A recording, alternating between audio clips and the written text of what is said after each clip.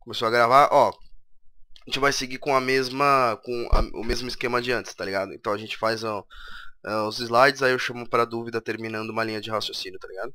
Terminando um determinado tópico, um, uma determinada parte. Vamos lá. Primeiro de tudo, definição de moeda, né? Isso daí é uma controvérsia.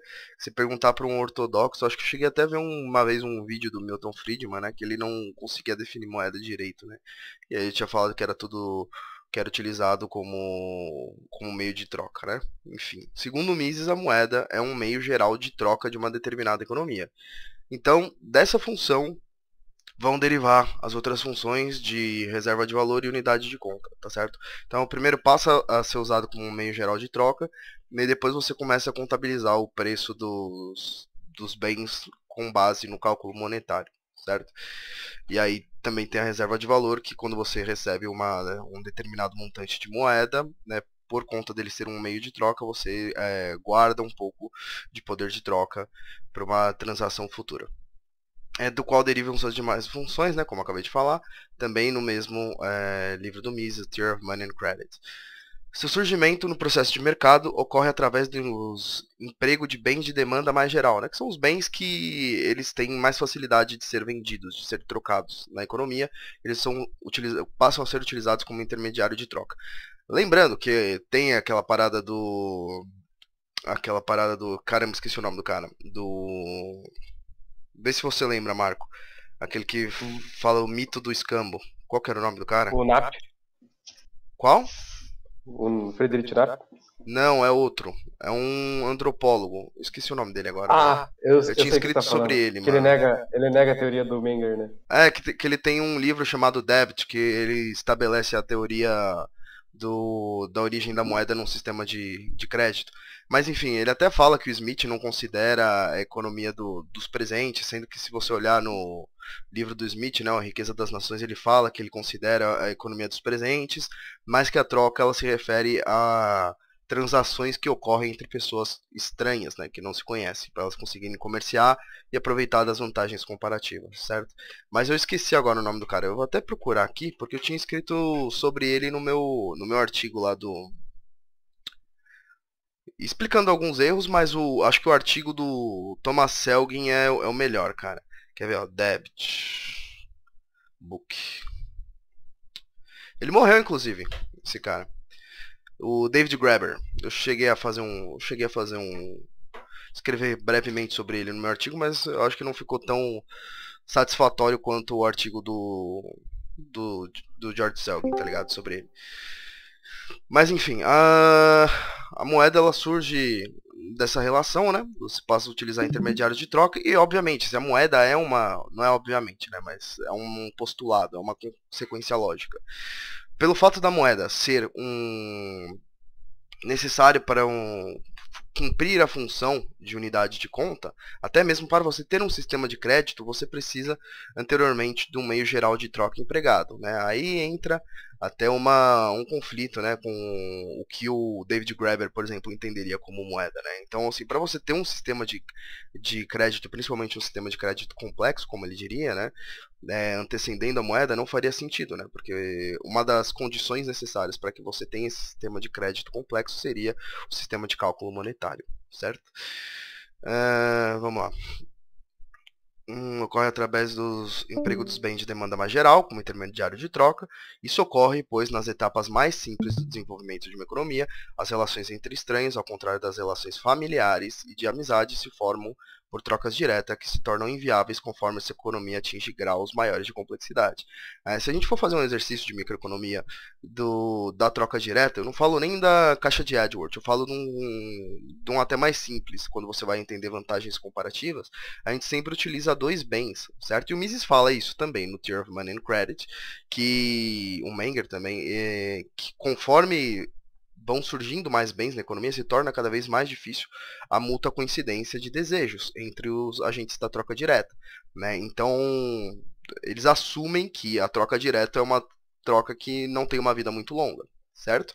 Conforme a economia vai crescendo. Então, assim, é... por isso até mesmo é difícil, até por não ter um sistema de contabilidade em termos de uma única commodity, um commodity existirem evidências arqueológicas da troca direta, certo? Mas a troca direta existe e existe até mesmo nos dias de hoje, com alguns empreendedores menores fazendo permutas entre si quando eles não têm muito, é, muito capital ainda para negociar entre si, certo? É, a troca direta, o escambo, possui pouca evidência arqueológica tanto pela necessidade de, no mínimo, uma moeda commodity para registro de preços, quanto pela é, brevidade acima relatada. Né? Aqui eu já estou usando o Selgin, mas o Mises também fala isso no Tier Money and Credit o valor da moeda, né? Aqui que a gente vai quebrar que a, as relações monetárias são relações, assim, são relações macroeconômicas no sentido de que é, tangem toda a economia sendo o meio geral de troca, mas ao mesmo tempo microeconômicas porque a moeda ela possui é, variações de mercado em mercado que são diferentes no global, né? Então não dá para a gente falar de alterações proporcionais no global. Se vocês assistirem aí no, na playlist de microeconomia, eu também coloquei na playlist de escola austríaca, eu falo um pouco sobre o efeito Cantillon e o efeito Ricardo, tá? É até importante, eu diria até pré-requisito para essa aula de economia monetária, tá? É uma aula introdutória bem interessante para mostrar como são as relações da distorção de preço com base nos agentes individuais. Existe um certo consenso acadêmico de que variações persistentes ao longo do tempo em médias de preço, o que a gente chama de inflação ou deflação, né? Porque eu coloquei variações, não falei se é positivo ou negativo, possuem relações a variações nos volumes monetários de uma economia, ou seja, né, a variação, é, as variações persistentes nos preços dependem de uma variação nos volumes de moeda de uma economia, embora haja discordâncias no papel específico da moeda na relação causal que conduz aos processos de expansão dos preços, tal como os diferentes impactos da moeda na economia no curto e no longo prazo, assim como na definição de inflação.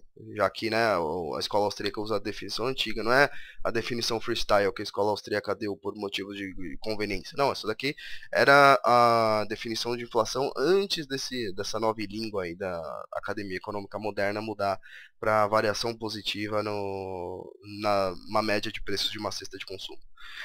Em 1903, Karl Hefferich lançou o desafio à escola austríaca para que os economistas da tradição preenchessem a lacuna deixada por Menger e explicassem o valor da moeda pela teoria da utilidade marginal, substituindo a análise da escola clássica inglesa de Smith e Ricardo como um, um compartimento isolado.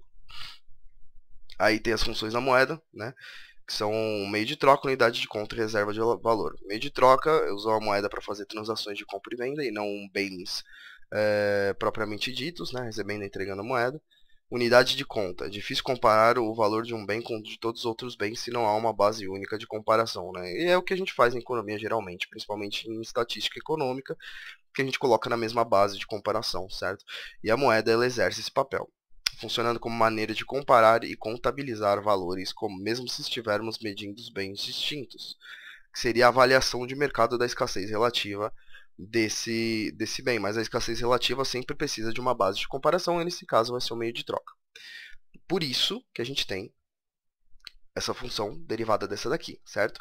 Porque você precisa primeiramente um meio universal de troca de uma determinada economia, para que você possa utilizar isso como uma unidade global de conta.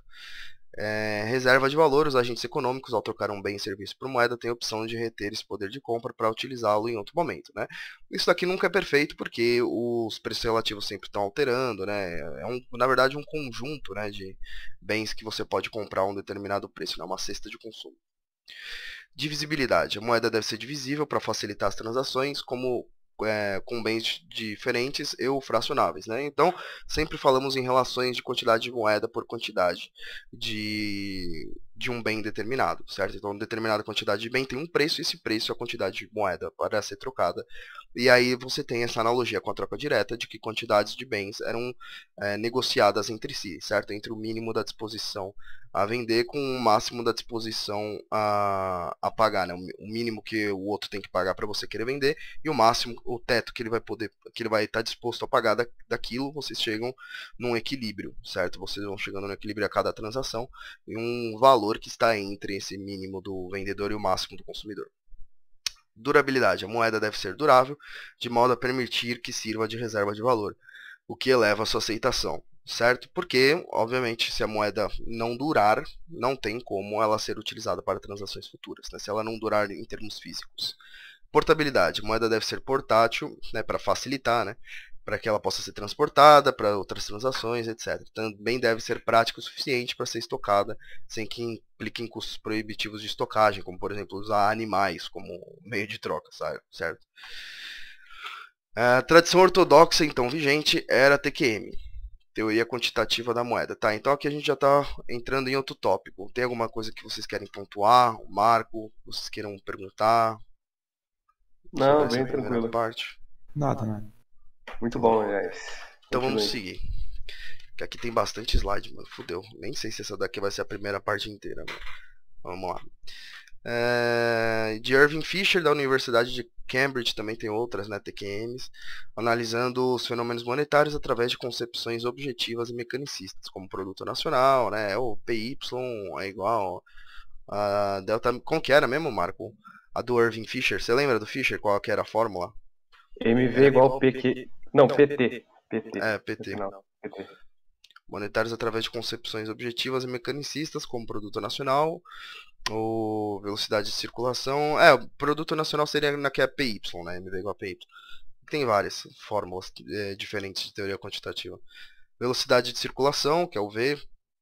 Níveis gerais de preço, P, etc., né, que é a média de preço de cesta de consumo, e outros agregados de indicadores macroeconômicos, né, que é o que o Hayek fala. Você pode utilizar isso como indicadores para tomada de decisão, mas você não pode colocar em é, relações como mudanças na fine structure, né? que, a, que existisse realmente alguma mudança mecânica proporcional entre esses agregados, né? Porque na realidade, como esses agregados são heterogêneos, as mudanças também afetam de maneira diferente esses agregados, né? Assim, o que compõe esses agregados especificamente, que afeta de maneira diferente. Já na década de 30, a teoria da preferência por liquidez de Keynes dominava a principal corrente acadêmica, sendo substituída pela reafirmação da escola monetarista, da TQM, seguida da nova economia clássica, né, escola de expectativas racionais e assim por diante. Já a escola austríaca, em resposta ao desafio, buscou a microfundamentação da economia monetária com base no individualismo metodológico. Certo? Da micro. Espera que eu vou dar uma tossida aqui. Vamos lá.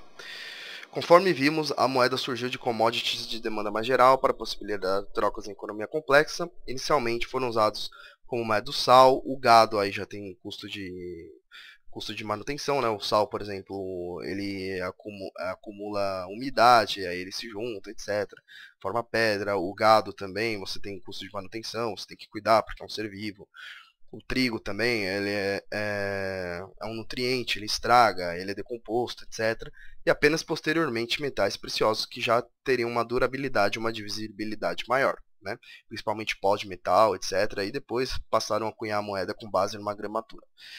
As substituições das commodities por outras ocorreram principalmente para atender os critérios das características da moeda que facilitam seu uso, como acabei de explicar. Com o tempo, o advento dos bancos e a necessidade da portabilidade levou à possibilidade de se transferir as somas de metais por meio de certificados de depósito. Né? Então você ia lá no banco, depositava uma gramatura de ouro, e aí você tinha um, um certificado de depósito que servia como uma, uma certificação de que você tinha naquele banco uma determinada gramatura de ouro, e aí ao pagar alguém com aquele substituto de moeda, né, ou com essa com esse certificado de depósito, você transferia o título de propriedade daquela de uma determinada gramatura de ouro para outra pessoa, certo? Então, foi assim os primórdios da moeda fiduciária vieram desse uso como substitutos de moeda. E daí que surgiu a noção de lastro, certo? Porque o lastro ele vem justamente da necessidade de ter uma determinada gramatura de metal precioso para que aquele título, aquele certificado de depósito tenha algum valor de mercado, certo? Que deriva do, da moeda anterior, que tinha a utilidade marginal como um bem de demanda mais geral e posteriormente o valor dele passou a se basear na expectativa de poder de compra futuro, utilizando como critério o poder de compra do passado, certo? Que são as relações dos preços relativos entre a moeda e os demais bens de uma economia. Uh, é, e dizem que a escola austríaca não considera expectativa, né? A nossa teoria microeconômica é totalmente baseada em expectativas dos agentes. O advento dos bancos, blá blá blá, beleza. Intancável. Intancável. Esses certificados eram transferíveis e suas características de portabilidade foram bem aceitas. O Estado começou a encampar a emissão da moeda. Ah, boa parte do que está nesses slides, fora algumas eh, adições, algumas mudanças terminológicas, mais por questões técnicas.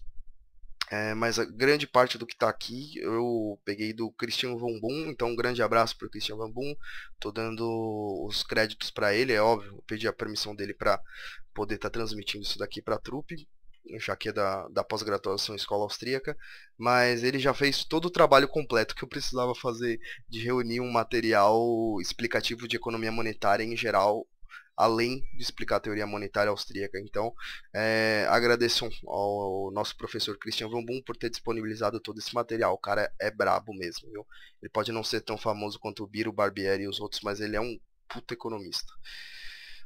É, o Estado então começou a encampar a emissão de moeda, o que não necessariamente foi um avanço. Né? Os governos começaram a obter ganhos de senhoriagem, que é a diferença entre o custo de emissão e o valor de face, né, que gera aquele poder de compra, ao emitir moeda. Na fase seguinte começou-se a emitir é, papel, de, papel moeda conversível, originado dos certificados de depósito que eu falei, que eu, era um papel que valia uma determinada gramatura de ouro, com lastro de ouro e prata, tá? o padrão ouro.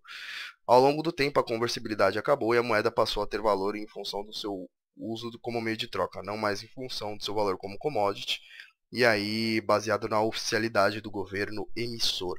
Né? É, nas conferências de Bretton Woods, primeiro teve a conversão para o padrão ouro-dólar, para só posteriormente você ter a abolição completa do padrão ouro. Né?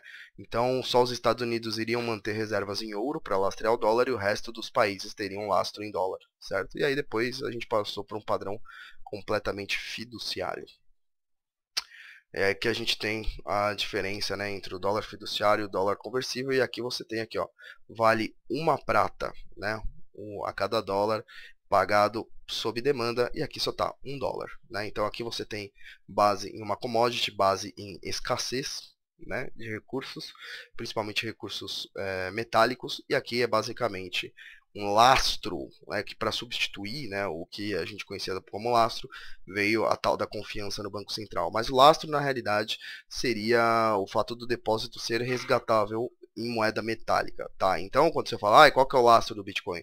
O Bitcoin ele não precisa de lastro.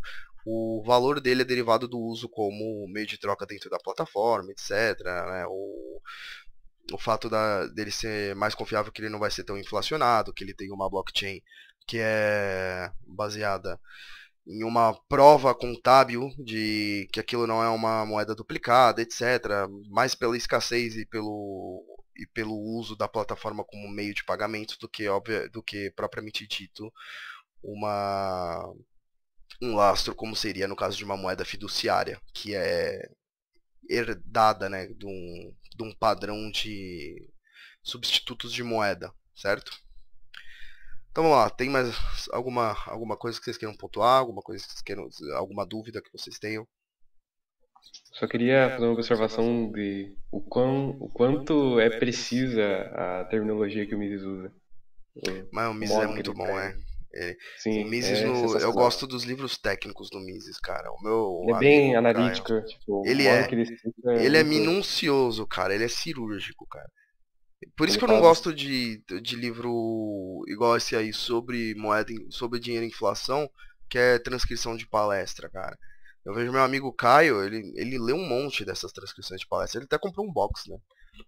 Mas, cara, é, é, é, problemático, porque você pega esses caras, que nem o, o, Gustavo Machado, que leem as seis lições e acha, nossa, olha como o Mises é um autor, é um autor merda, né? Aí você fala, mano, imagina esse cara lendo Ação Humana, tá ligado? Ele ia falar, caralho, mano, o, o meu QI não, não tá preparado pra esse tipo de coisa, saca? Sim. Quando o Mises dá pra ver isso, eu acho bem interessante, por exemplo, quando no capítulo anterior que o Mises define essas paradas dos substitutos de moeda, o que, que é moeda mercadoria, é, moeda crédito, moeda fiat. E logo no capítulo seguinte ele fala sobre como o Estado afeta a moeda, né, no caso. Nossa humana ou no Tier of Money and Credit? Não, no, no, no Tier of Money and Credit, no caso. Faz nos dois. É, só que daí, tipo assim, você vê assim, um quão preciso é que daí, tipo, tudo aquilo que ele fez no capítulo anterior, ele começa a utilizar e você vê que encaixa com maestria no, no problema tratado, tá ligado? Aham. Uhum. É, ele é bem cumulativo. Cara, e o Ação Humana ele faz bastante isso também, cara. Aliás, ele faz exatamente isso.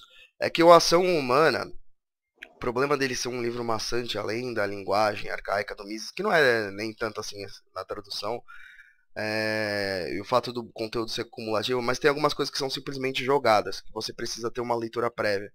Por isso que eu falo, por exemplo, que se você quiser ler o Ação Humana, é bom você saber microeconomia, assim, pelo menos o básico, sabe? Capítulo... Macro também, Teoria do Capital, austríaca.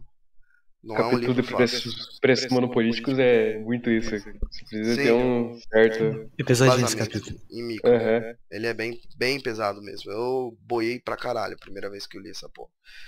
Mas enfim. enfim. Isso ocorre porque, deixa eu ver onde a gente parou. Ah, hoje em dia o principal emissor e controlador da quantidade monetária é o Banco Central. Mas não só ele emite moeda, né? Isso daqui é economia monetária básica, né? Os bancos comerciais são aqueles que recebem os depósitos, os depósitos à vista. Então você vai no caixa eletrônico e deposita uma quantidade de papel moeda.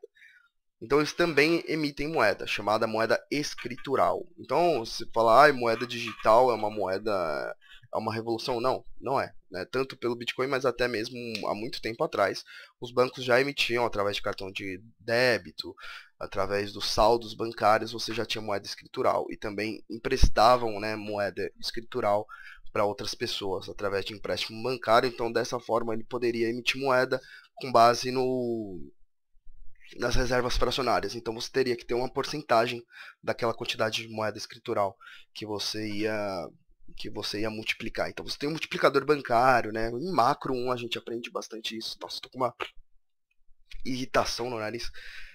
É, então, o, em macro 1 você tem é, um multiplicador keynesiano que você consegue multiplicar o crédito com base num, num determinada, uma determinada fração né, daquilo que você mantenha em reservas reais.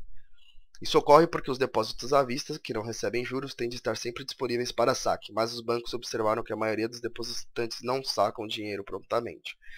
Isso daqui, aí tem aquela discussão que até o Uri falou que não, não é fraude. Cara, depende. Se, o, se você acorda isso através de contrato com os seus depositários e eles estão dispostos a assumir esse risco, realmente não é fraude. Agora, do jeito que é feito, realmente é uma forma de fraudar o seu dinheiro, né? Do jeito que é feito no Brasil. E além disso, também tem a questão do, do compulsório. O depósito compulsório é uma quantidade obrigatória que os, que os bancos comerciais têm que depositar nos caixas do Banco Central. Isso serve para controle de liquidez também na economia monetária. Então, quando você reduz o compulsório, você reduz a quantidade que eles têm que depositar nos caixas do Banco Central. Isso aumenta a liquidez, então é uma medida monetária expansionista. Quando você aumenta o compulsório, é a mesma coisa que aumentar a taxa de juros, por exemplo, você reduz a liquidez certo? Só que no caso da taxa de juros, você tem uma meta da taxa Selic, né, que é a, a Sistema Especial de Liquidação e Custódia, que é o, a taxa básica de juros no Brasil. Então, uma medida monetária contracionista é uma que reduz a liquidez. E a que reduz a liquidez, no caso, seria o aumento do compulsório, porque você aumenta a quantidade de moeda que o, os bancos comerciais têm que depositar nos caixas do Banco Central certo? Então é bom a gente já ir se familiarizando, principalmente falando de, de economia monetária, é, a respeito das medidas que o Estado toma para aumentar ou diminuir a liquidez do mercado, né? E geralmente as medidas que são chamadas tanto fiscais quanto monetárias de expansionistas são medidas que visam aumentar o consumo, tá? A demanda agregada, que a demanda agregada é consumo, mais investimento, mais gastos do governo, menos, é, mais o saldo da balança comercial, exportações menos importações, certo? Então é importante a gente, como a gente está tratando de economia monetária, passar por toda essa parte conceitual, tá? Para depois analisar através dos modelos e a crítica dos modelos é, inflacionistas, certo? Hum, vamos lá. Corre porque é, os depósitos à vista, que não recebem juros, têm de estar sempre disponíveis para saque, ou seja, liquidez imediata mas os bancos observaram que os depositantes não sacam dinheiro prontamente. Isso lhes confere a habilidade de emprestar uma parte da moeda que recebem via depósitos, recebendo juros, mantendo apenas a outra parte em, casa, em caixa caso alguém venha sacá-la. Assim, cria-se moeda escritural. Sistema financeiro e os meios de pagamento. Tá, então a gente já terminou, né? Quem emite moeda. Mais alguma coisa, guys, que vocês queiram pontuar? Dúvidas? Questions about that? Tá de boa. De buena. É que a questão contratual ali do reserva funcionária dá uma polêmica, filha da puta. Ah, dá. Dá. É, O o Soto, o Soto, Ropa, na questão não é nem econômica, é uma questão contratual mesmo. É. Ela dá uma briga. É, e tem o. O Fernando Ui que já tá desse lado, né? De que não é fraude, mas isso daí é muito do- rela- do é muito né? relativo. É muito relativo. Acho que não tem nem discussão de que é fraude no sistema atual, né? Eles É. discutem uma questão mais hipotética. Uhum. É, se fosse acordado, aí não seria, mas os, contrato, os contratantes teriam que estar dispostos a assumir esse tipo de risco. Os meios É, de pagamento. Tem ainda a questão que o, o Ropa e o Soto eles não consideram como contratos válidos, mas é, é muito que aí pra mim. Eu não, eu não É, aí já é uma, defi- uma discussão mais ética, tá ligado? Mais deontológica. Os meios de pagamento consistem primariamente de dois componentes: PMPP, papel moeda em poder do público, que é o que é transacionado, né? Normalmente, cara, isso daqui é, hoje em dia é menos, tá? Porque hoje em dia moeda mesmo, moeda que você utiliza na transação do dia a dia é mais moeda escritural, tá? Moeda de cartão de crédito, né? Alguns chamam até de moeda plástica, mas é moeda escritural, é moeda que está lá no teu saldo bancário. Né? Então, papel moeda em poder do público, mais moedas metálicas, mas seriam moedas metálicas de centavos, por exemplo, certo? Depósitos à vista nos bancos comerciais, que criam moeda. Os depósitos à vista dos bancos comerciais também são chamados de moeda bancária e moeda escritural. Isso daqui é a maior parte do sistema atual. Tá? Eu tenho, ó, inclusive, ó, tô com uns trocados aqui. Onde está minha carteira? Tô com uns trocados aqui. Mas dificilmente você pega isso daqui, ó. Tipo, uma nota de 20, ó. Até porque roubam muito, né, mano? Dinheiro, dinheiro escritural. Dinheiro escritural não, dinheiro papel moeda mesmo. É até perigoso você manter, né? Hoje em dia o ladrão vai roubar mais celular, né? Que tem um negócio que ele consegue vender rápido, conseguir uma grana fácil. Mas o papel moeda mesmo hoje dificilmente a galera usa, tá? É mais cartão de crédito, cartão de débito, etc. Moeda escritural. Como o Banco Central, por força da lei, né, curso legal forçado, e os bancos eh, comerciais, em função de fidúcia ou confiança, emitem moeda, o conjunto das duas instituições é conhecido como sistema monetário. Tá? Então, o Banco Central, por força da lei, como tendo monopólio monetário, ele emite moeda, monopólio entre aspas, né, porque os bancos comerciais têm um multiplicador bancário. Juntos eles formam o sistema monetário e antigamente o Banco do Brasil exercia algumas. Isso está no Simonsen, tá? O Banco do Brasil antigamente exercia algumas funções de Banco Central, então não existia uma autoridade monetária única como o Banco Central, eram autoridades monetárias. Agora, se você me perguntar, você me pega porque me foge a memória quais eram as funções do, as funções do Banco do Brasil, tá? Na exerção de política monetária. Eu acredito que era mais relacionado a crédito mas eu estaria palpitando nesse sentido. O sistema monetário faz parte do sistema financeiro, que também inclui outras instituições bancárias que não recebem depósitos à vista, logo não emitem moeda, como bancos de investimento, como BNDES, por exemplo, né? de fomento, financeiras, etc. O sistema monetário emite os meios de pagamento na sua versão básica, o agregado monetário M1. A base monetária consiste em uma medida monetária ainda mais básica, a partir da qual são calculadas as demais, inclusive o M1 a base monetária é chamada de High Powered Money, né? a moeda de, de alta potência, de alto poder. É, alto poder de compra. Por isso utilizam a anotação H de High Powered Money. A base é composta pelo papel moeda em poder do público, o PMPP, que a gente já viu, que é o papel moeda emitido menos o que está no, em poder do sistema monetário, ou seja, que é o que as pessoas utilizam para transacionar. E a moeda dos bancos, as reservas bancárias que vamos chamar de beta, certo? E as reservas bancárias é aquilo que a gente falou, né? Moeda escritural é a que é mais utilizada hoje em dia. Logo, a base monetária H é o PMPP mais beta, em que beta é R multiplicado por DV. Agora eu esqueci porque ele tinha colocado o DV e o, e o R. Agora eu esqueci o que significava. Deixa eu procurar. Hum... Deixa eu ver aqui. Mano, eu tinha colocado uma legenda explicando o que era o R o que era o DV, velho. R vezes DV. Depósitos à vista. Eu sei que é isso. Agora o R. Mano, eu vou ter que achar no, nos slides do Christian Von Boom. Deixa eu colocar aqui. Uh, beta. Beta é a reserva bancária. Será que é o multiplicador bancário vezes o depósito à vista? Eu acho que é o multiplicador bancário vezes o depósito à vista.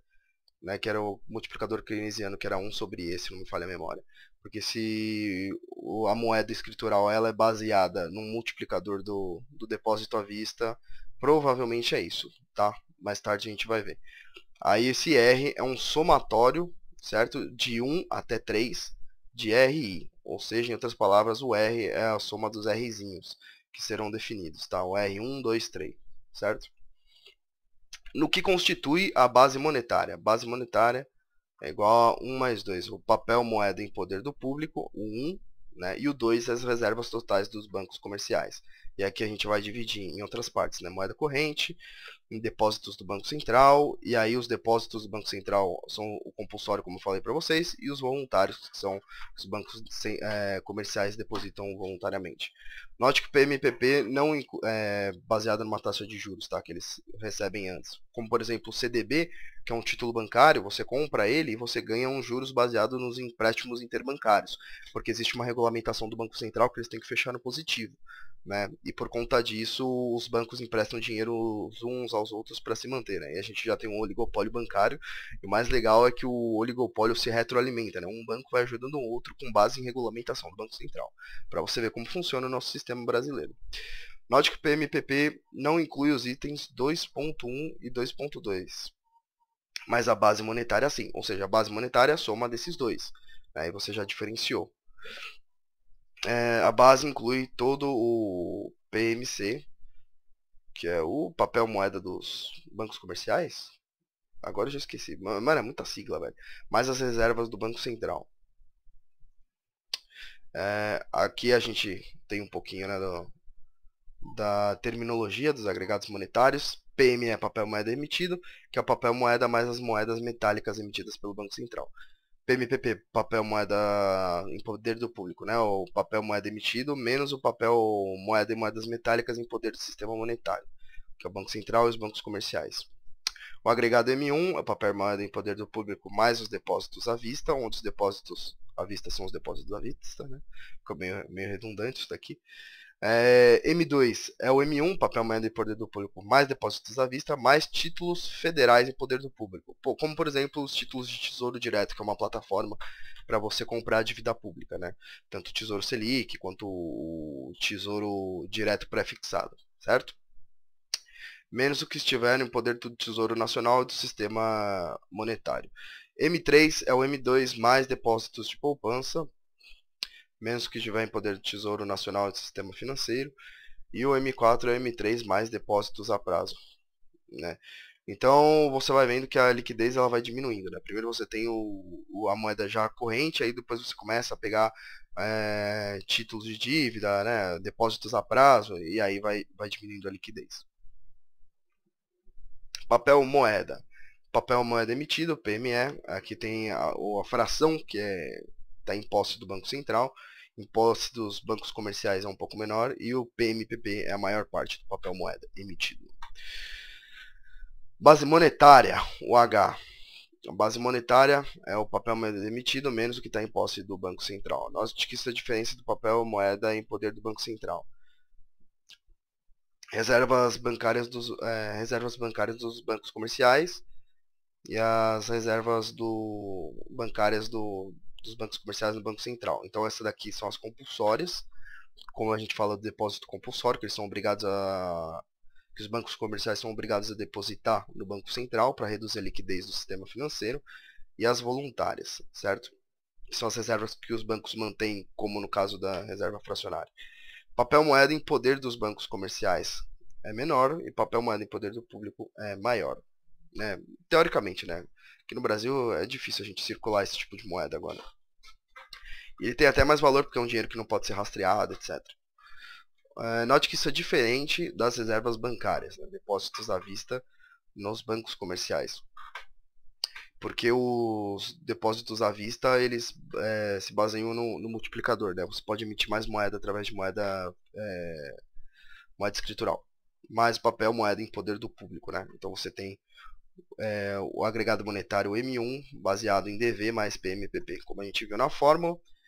E aqui o M2, você vai, você vai aumentando o agregado monetário, você vai agregando ele mais, né, por redundância da, da terminologia. É, títulos públicos federais são adicionados ao PMPP mais os DV, o, mais os DV que, que, é o M1, e aí ao M2 você adiciona os depósitos de poupança. Né? Então você vai diminuindo a liquidez porque você vai adicionando títulos que têm tempo de resgate, principalmente os títulos a prazo do M4, certo? Então é isso, guys. É, aqui é o balancete do sistema monetário. Eu sou péssimo em contabilidade, eu tomei DP em, em contabilidade. Então vou ser bem honesto aqui para vocês. Que essa foi a parte que eu mais quebrei um pouquinho a cabeça quando eu estava em, em economia monetária. Então a gente tem aqui o ativo do Banco Central, as reservas bancárias, em moeda corrente, junto ao Banco Central o voluntário, que é a reserva fracionária, compulsório, que deposita no Banco Central. A gente tem os empréstimos, os títulos, que também ele vai receber dinheiro. Não, o ativo é tudo que vai dar um income, né? Vai trazer dinheiro para os bancos comerciais, né? É, imobilizado, outros, né? O passivo, né? Os depósitos à vista, os empréstimos a pagar, ou seja, o que eles vão ter que pagar de, de empréstimo para os credores, depósitos de poupança, depósitos a prazo, demais exigibilidades, né? outras exigências, outras outros compromissos e o patrimônio líquido, recursos próprios. Aí tem o balancete do Banco Central. Tá? Esse daqui é dos bancos comerciais, esse daqui é dos bancos centrais. Reservas internacionais, que seriam as divisas, né, as moedas estrangeiras, empréstimos ao Tesouro, que o Tesouro, o Tesouro Nacional tem que pagar para o Banco Central, como títulos de dívida pública. Hoje em dia, no Brasil, devido à austeridade fiscal e à legislação, o Banco Central brasileiro é proibido de financiar dívida pública. Tá? Quem financia são as pessoas diretamente através da plataforma do Tesouro Direto. Empréstimos aos bancos comerciais, com base na taxa de redesconto do compulsório, tá? É, títulos públicos federais, é, moeda corrente, é, empréstimos e outras entidades públicas, imobilizado, ou entre outros. Né? Aqui o passivo dele é papel moeda emitido, o depósito de reservas bancárias dele, né, os voluntários e compulsórios também, é, depósitos do tesouro, é, recursos deles, né? Recursos próprios, é, empréstimos externos, blá blá blá. Certo? É, balancete do sistema monetário inteiro. Aqui você tem as aplicações do Banco Central, os títulos públicos federais, empréstimos ao Tesouro, as reservas de divisas, né, do sistema monetário inteiro. Então você junta né, o Banco Central com os bancos comerciais. Tá legal? Empréstimo a outras entidades públicas, é, aplicações dos bancos comerciais, é, rendendo uma determinada taxa de juros, empréstimos ao setor privado, é, tanto por BN, é, BNDES não porque é banco de investimento, então não vale, mas seria empréstimos ao setor privado dos bancos comerciais principalmente. Tá? Títulos públicos e privados, aplicações internacionais, mobilizado, passivo, o passivo monetário, papel moeda em poder do público, que veio lá do, do Banco Central, né? De todo o papel moeda emitido, é uma parte dele, maior parte dele. Depósitos à vista dos bancos comerciais, que forma né, o, o, resto do papel moeda emitido. Recursos não monetários, de, é, imóveis que o, de repente são leiloados, né, que, de construções que não conseguem pagar o empréstimo, né? E aí, através de leilão, eles têm esses ativos, esses, esses passivos, na verdade, que fazem parte do patrimônio. É, depósitos a prazo, de novo aparecendo aqui porque é o somatório né, do Banco Comercial com o Banco Central, depósito de poupança, saldo líquido, depósitos do Tesouro, empréstimos a outros países do, pelo Banco Central e o saldo das outras contas. Beleza? Então, guys, tem mais alguma dúvida? Nossa, isso daqui cai muito, velho. Em, em concurso de banco, em essa parte de economia monetária também, na, nas provas de economia monetária, isso daqui cai bastante. Isso daqui é importante a gente é, prestar atenção com a lógica disso daqui, porque caem muitas perguntas de quanto se cria ou destrói moeda. Mas vocês têm mais alguma dúvida? Alguma coisa que vocês queiram pontuar? Feedback da aula?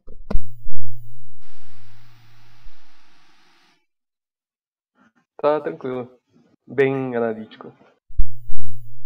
É, essa parte aqui é mais decoreba, tá ligado? Então tem algumas coisas que são meio, meio chatinho, mas é bom pra gente ter pra consultar, certo? Vamos lá. A variação na quantidade de moeda quando, quando se muda o passivo monetário. E variação no mesmo sentido no ativo ou passivo não monetário do sistema monetário. Certo? Que é aquilo que a gente viu em cima, né? Os recursos não monetários do, do sistema monetário, né? Do Banco Central dos bancos comerciais. Cria-se destrói moeda se se eleva ou reduz o passivo monetário e aumenta, diminui ou ativo ou passivo não monetário. Então, para vocês terem uma ideia da criação ou destruição de moeda, é só utilizar uh, o, balanço do, o balanço comercial dos bancos comerciais do Banco Central e o conjunto né, do sistema monetário. Assim, a variação na base monetária é a variação no ativo do Banco Central menos o passivo não monetário do Banco Central. Enquanto a variação no M1 é a variação no ativo... Puta, o SM, velho. Agora você me, fudeu, eu não lembrava disso daqui. Haver ou não haver monetário. Ah, sistema monetário, né? Então, delta M1 é a variação no ativo do sistema monetário menos a, é, variação no passivo não monetário do sistema monetário. Inclusive, acho que tinha um delta aqui também, tá? Eu esqueci de colocar o, o delta, mas enfim.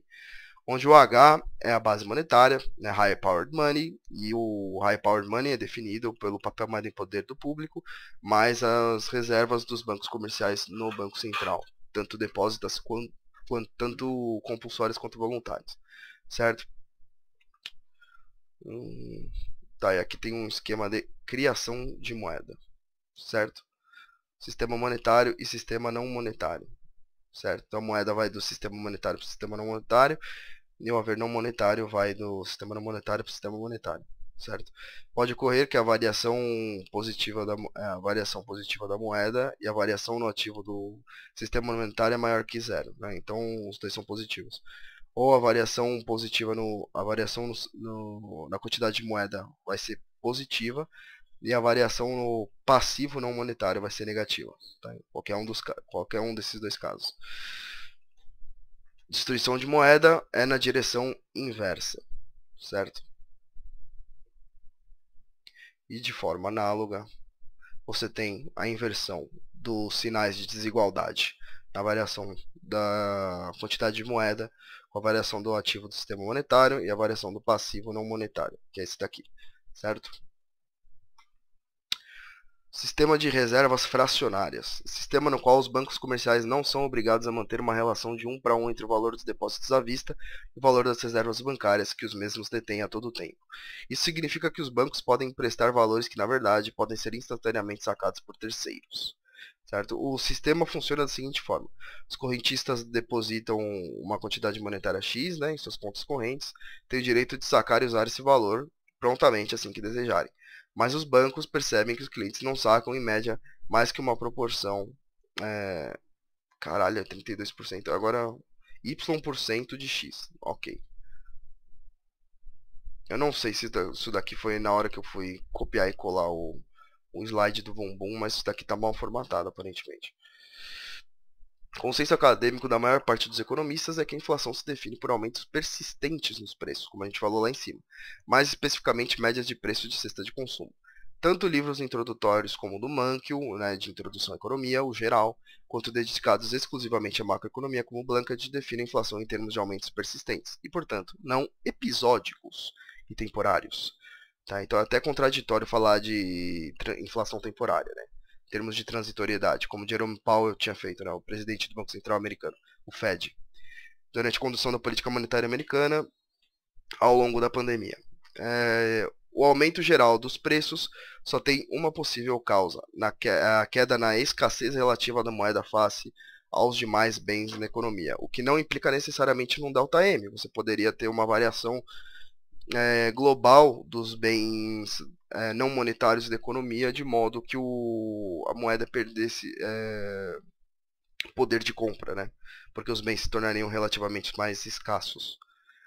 A variação positiva na oferta monetária reduz a escassez relativa da moeda em relação aos demais bens da economia, ou seja, você aumenta a quantidade de dinheiro na economia e ela fica mais abundante em relação aos demais bens. Porém, nada impediria que o aumento da escassez relativa dos fatores de produção, que diminuiria a produtividade de forma geral, reduzindo a quantidade de produtos e aumentando seus preços, por exemplo, fosse um causor, é, fator causal da mudança de tal escassez relativa, mas teria que ser de todos os fatores de produção, não fatores de produção específicos a um determinado mercado, certo? apesar de menos provável sem que houvesse o consumo de capital causado por malinvestments, apesar de ser possível, porém menos provável. Né? Então, essa questão do consumo de capital, por exemplo, a expansão monetária também causa é, expansões sustentáveis que a longo prazo consomem capital e reduzem a capacidade produtiva, não só no sentido físico, mas no sentido de valor, né? no sentido da escola austríaca de valor. O capital é o valor é, avaliado em termos de preços de mercado de toda a estrutura de produção, certo?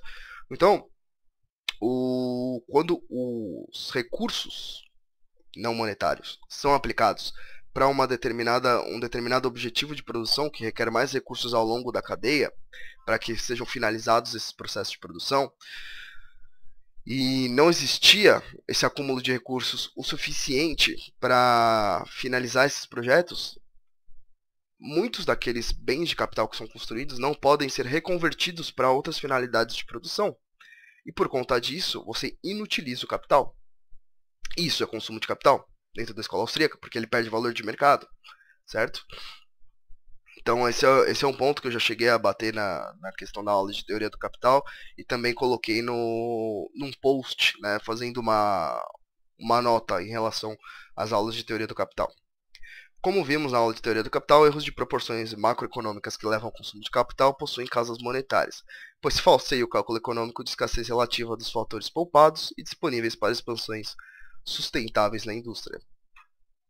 As explicações, contudo, devem se passar nas distorções de preços relativos, pois o padrão de distorção monetária ocorre através de decisões de gastos individuais, como no, eu demonstrei utilizando microeconomia, né, no vídeo de, da série de micro que também está aqui na, na playlist de escola austríaca, de efeito Cantillon e efeito Ricardo, certo?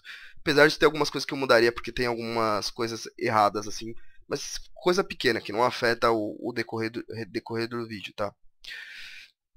É, tanto de consumidores quanto de firmas. Então, consumidores seria a parte de escolha do consumidor, né? Você tem o trade-off entre os vários bens, as curvas de indiferença e o quanto você pode gastar, que são as linhas orçamentárias.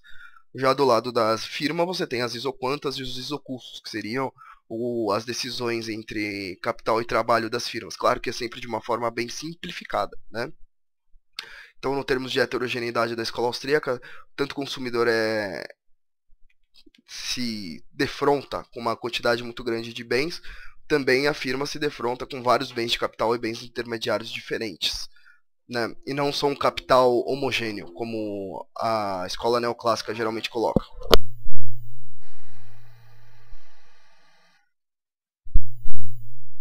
Mano, não sei quantos helicópteros passam aqui na moca, cara.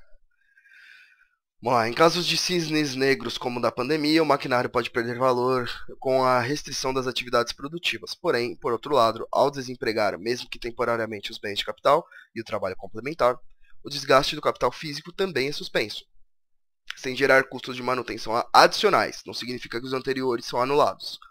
Além disso, na retomada das atividades produtivas, é natural que o capital volte a ser apreciado e volte a aumentar em valor, o pior dos efeitos seria o consumo dos fatores complementares aos bens de capital, com a produção estagnada.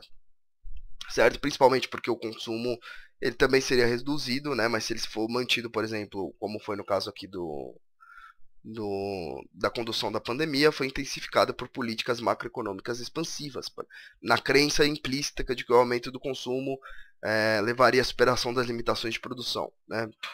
E até mesmo manteria a atividade econômica, né? Mas a grande questão é que você está consumindo capacidade produtiva. Ou que esta última limita-se unicamente pela má vontade de atingir o pleno emprego dos fatores de produção, estado que, na melhor das hipóteses, levaria a um estado estacionário do crescimento de capital e, na pior delas, a um consumo de capacidade produtiva. Volta. Deixa eu ver quantas quantas, quantos slides faltam. Reflexo do consumo de capital na indústria. Ah, aqui eu coloco... Só tem mais dois slides, então. Peraí. Só tem mais dois slides, então. Então vai ter aqui o reflexo do consumo de capital. E aí a gente já vai aqui para a bibliografia. E aí a gente já continua na próxima. Então vamos lá. Aqui eu falo um pouco sobre o PIN-PF. E cara, eu acho que todo austríaco tem que é, se atentar a essa pesquisa do IBGE. Eu vou até colocar o link, deve estar nos meus links salvos do, do Google Chrome. para vocês acompanharem o lançamento desse relatório, tá certo? É produção industrial mensal, produção física, um relatório do IBGE que coloca a variação, né, a variação marginal, né, da, da indústria a cada mês, certo? Então você consegue ver as grandes categorias, as indústrias específicas, certo? Desde definições de mercado mais específicas até as mais amplas. Isso daqui é muito interessante para quem estuda a teoria de capital, estuda a teoria do ciclo econômico. Cara, é até mais importante que você se ater ao IPCA, ao IGPM. Também é importante você se ater às médias de preço, mas principalmente à produção industrial. Um dos resultados para os quais se chama pouca atenção no Brasil e no mundo, mas que a escola austríaca já alertara, é a perda da capacidade produtiva, consumo de capital. É de preocupação geral a queda na atividade industrial brasileira, porém muitas vezes são identificadas as causas erradas, como a ausência de investimento público, como a gente viu naquela, naquele RECT, né, que a gente fez a maratona do Brasil Metal, indústria de bens de capital, quando for exatamente esta causa da insustentabilidade do crescimento industrial brasileiro, ou seja, a ausência de recursos não monetários. Os efeitos do estímulo ao consumo, somados às restrições à produção, são visíveis nos índices de preço, mas o que realmente é preocupante são os índices de atividade industrial. E o último relatório PIMPF, que saiu pouco depois dessa gravação, a produção, pouco antes né, dessa gravação, a produção industrial brasileira acumulou uma queda de 4%, sendo o sexto mês consecutivo de queda. Isso daqui é a produção global, produção industrial global do Brasil. E o setor de bens de capital vinha apresentando até então um descolamento total de seus complementos, bens intermediários e dos bens de consumo final, e continua nessa tendência. Representando alta face, é, é, representando alta, né? o setor de bens de capital representou alta face à queda nos demais, nas demais etapas da cadeia produtiva e dos seus complementos. A variação mensal do setor de bens intermediários foi de menos 2,7%, ou seja, 2,7% negativo, retração, enquanto os bens de capital ainda apresentam taxa positiva de 5%, viu? Seguindo a tendência. Os bens de consumo duráveis apresentaram queda com menos 21%, uma queda mais significativa, e os bens de consumo semi-não duráveis, variação de menos 6,3%. Cara, a Selic agora está numa onda de alta de política monetária é, contracionista para segurar a inflação, a Selic agora acho que está 9,25%. Deixa eu ver como ela está agora. Selic hoje. Deixa eu entrar no valor data. Que o valor data é sempre um valor aproximado, né? não é o valor exatamente. Deixa eu ver como está aqui no valor data. Ó. Pior desempenho, blá, inflação, IPCA no acumulado de dois meses, 10,74%. E a Selic está quase na inflação, 9,25%. Aqui está 9,15%, mas eu estou falando da meta, não da efetiva, certo? E mesmo com a Selic nesse patamar, o Roberto Campos Neto, ele demorou muito, né, para desgosto do avô dele, nosso querido economista austríaco hayekiano Roberto Campos, ele demorou muito para reagir com a galopada dos preços. O IGPM já estava a níveis gritantes, o IPCA também já estava muito preocupante, certo?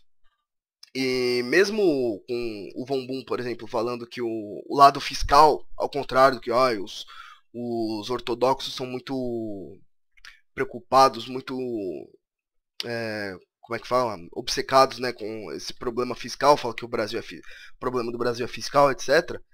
Foram mantidas medidas assistencialistas de pandemia, principalmente de renda mínima, certo? E isso, eu inclusive já escrevi um texto sobre isso, é algo que também retroalimenta a inflação.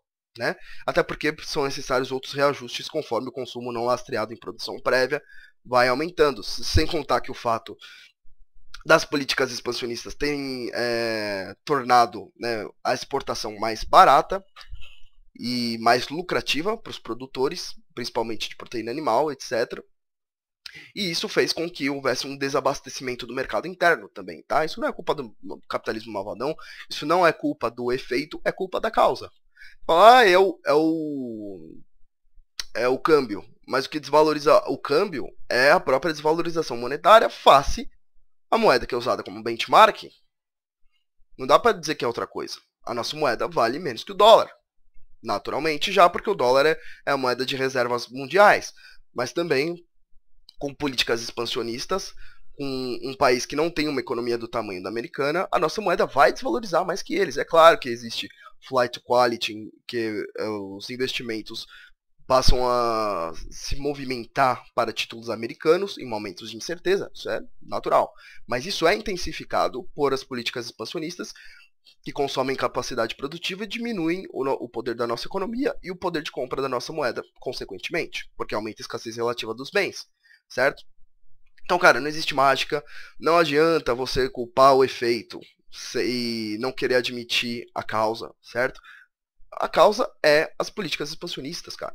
Eu queria muito poder fazer mágica e ajudar todo mundo, e ajudar os pobres, os pobres estão morrendo. Mas, cara, a realidade é essa, não não dá para fazer mágica, não dá para materializar recursos magicamente. É a, é a, lei de Lavoisier, na natureza nada se cria, nada se perde, tudo se transforma.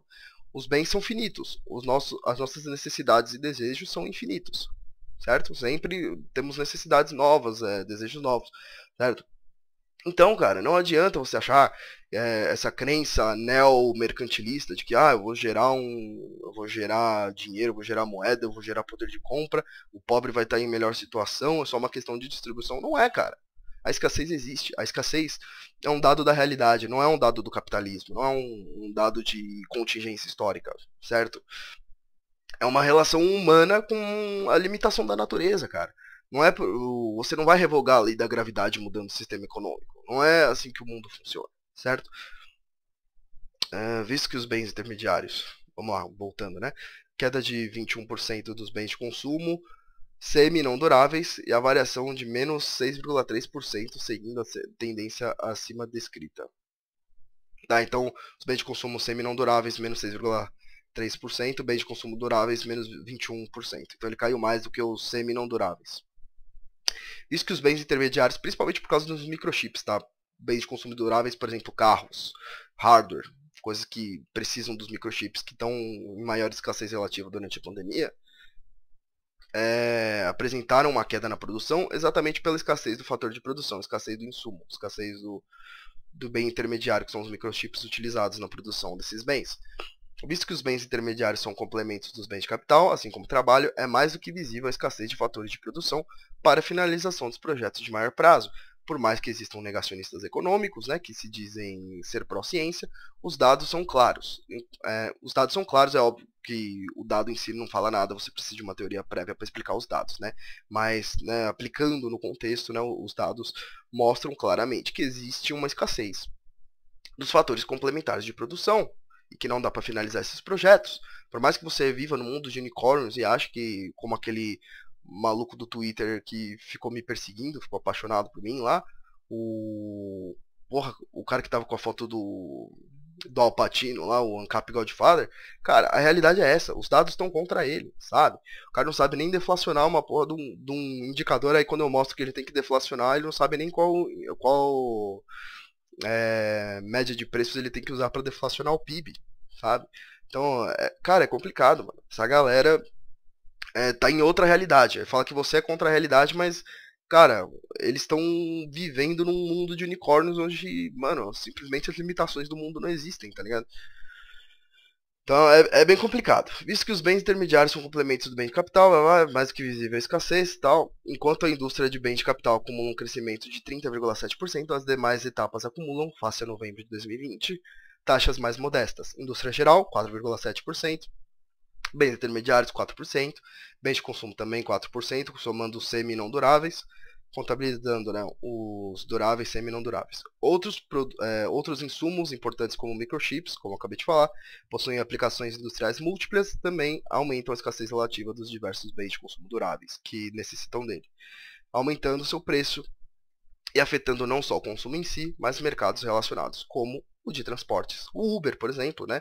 Você tem escassez de carros, mas você também tem um aumento no preço da gasolina devido a políticas internacionais, né? É, cartéis de petróleo, entre outras coisas que aconteceram no meio da pandemia, é, a própria inflação monetária.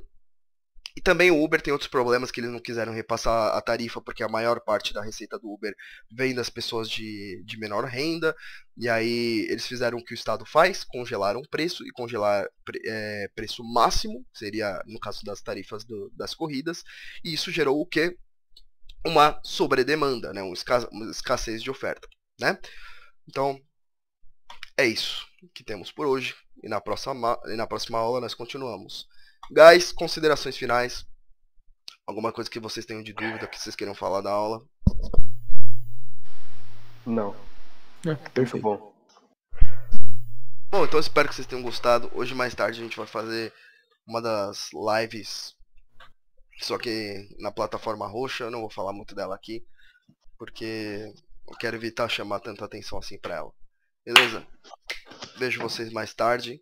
E quem tá assistindo aqui, não se esqueça de se inscrever, deixar aquele like, fazer comentários de dúvidas ou algumas coisas que vocês queiram pontuar, certo? Cara, economia monetária não é minha área de especialidade, né? Eu, eu sou um cara mais de microeconomia. Mas eu tentei dar meu melhor aqui, eu, eu acho que ainda fal- deixei algumas lacunas, algumas coisas que eu posso até suprir na outra aula, porque eu acho que algumas coisas faltaram legendas, algumas coisas deram para deduzir, mas teve, teve algumas lacunas, como o multiplicador R.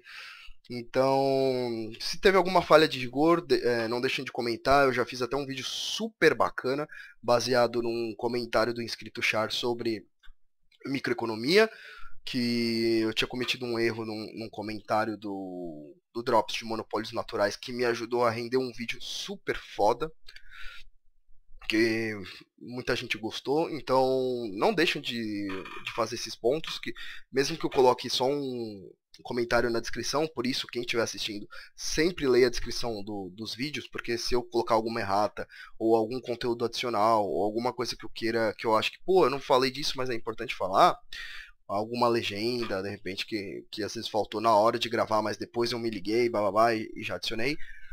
Sempre olhem a descrição dos vídeos, tá?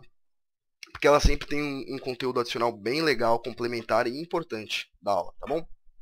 Então, nos vemos no próximo vídeo e muito obrigado pela, pela atenção, principalmente quem assistiu até aqui.